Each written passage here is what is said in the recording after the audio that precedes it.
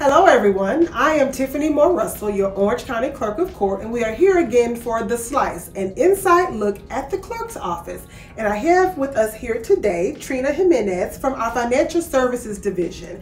And this is the season of unclaimed checks. And so we're going to dive into that subject and really help those who are watching truly understand what we're talking about. So explain to them what is an unclaimed check.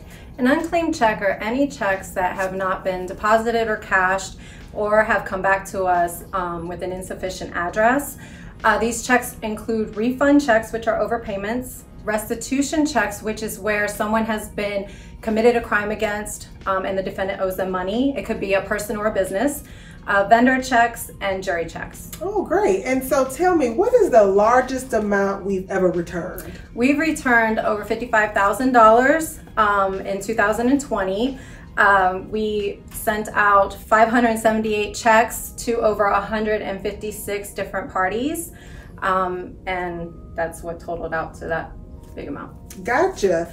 And what has been the total largest amount we've given out um, in one year? This one was my favorite because okay. I actually got to reissue it. Okay. So it was over $28,000 to one person, and they had no idea oh, wow. that they even had that money there. So it was really awesome that I got to be the one to do it. Um, and then we had another one in the same year uh, for 9,000 and then in 2019 we had one for 7,000. And so I'm assuming that they saw our notice telling them to find out if they are owed money yes. and they looked up and see if their name was on yes. that list. Well, yes. that's great, Greg. It's a great story to share. Share. So, how do people determine if they have an unclaimed check? Uh, there is a list that we have that actually just came out yesterday, July 1st.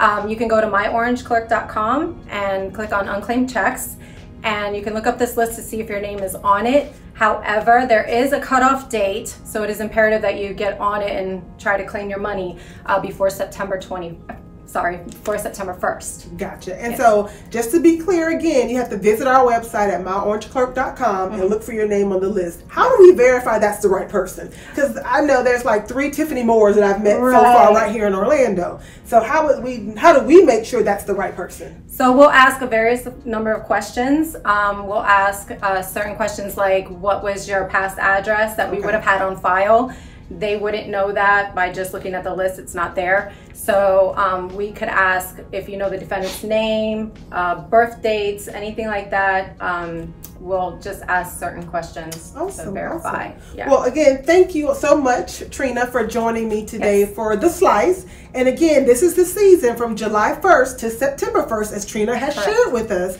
is the time for you to visit our website at myorangeclerk.com. Look for the unclaimed checklist and see if you are owed money. You just never know. You may be on that list. But again, remember, you have until September 1st to claim your unclaimed funds. Again, I am Tiffany Moore Russell, your Orange County Clerk, and thank you for joining us for The Slice.